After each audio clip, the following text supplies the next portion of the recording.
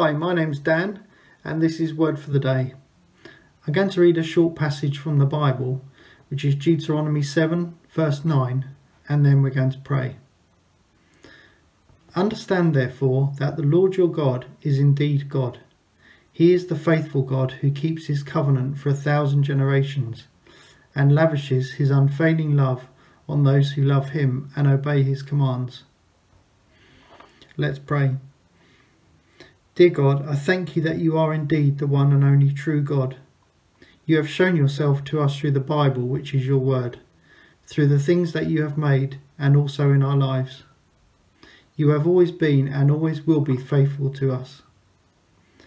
We thank you that you always keep your promises and will never leave us. We thank you for your never ending love, that it was there before we loved you and will still be there when we fail.